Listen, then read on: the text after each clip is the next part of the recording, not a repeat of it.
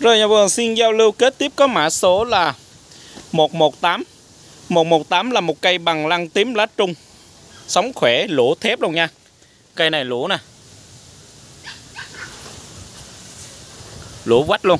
Lỗ nguyên một cái, cái mảng này luôn nha. Cây sống khỏe rồi. Các đầu sống đều có hết luôn nha. Đều hết luôn. Đầu sống đều hết luôn. Rồi cây này có hoành gốc là 215 Cây cao là 110 Bầu ươm hiện tại là 100 nhân cho 70 Cây này khá là khủng nha. Cây này à,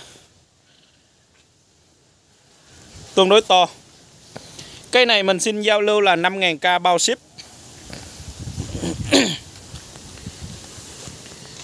Rễ nè. Đế nè, đế trải luôn nha. Đó, ở phía này đế nè. Đế và rễ nè, coi nè. Rất là khỏe luôn. Nó nu nè Nu nè, nu nè. Đó. Rất là nút cây luôn nha. Rất là khủng luôn. 5.000k bao ship. Cây này quá khủng luôn nha.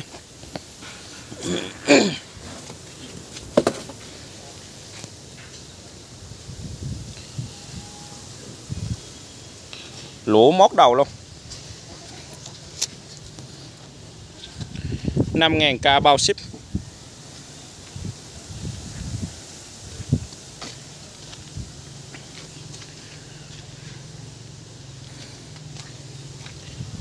Mặt sau thì là mặt sống toàn bộ, còn mặt trước là mặt lũa nha.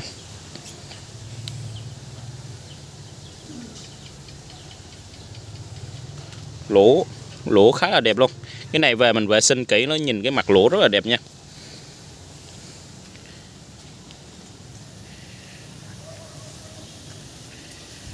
Rồi giờ xin qua cây này luôn.